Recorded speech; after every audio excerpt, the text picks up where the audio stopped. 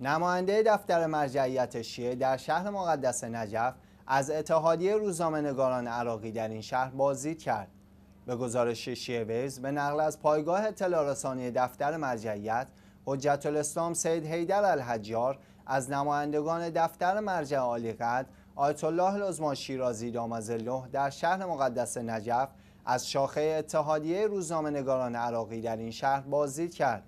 وی در این بازی ضمن بیان برخی از رهنمودهای آیت الله العظما شیرازی از نقش اتحادیه روزنامه‌نگاران عراقی در رشد فکری و فرهنگی جوانان قدردانی کرد و بر اهمیت تأثیر آزادی روزنامه‌نگاران بر جامعه تاکید کرد.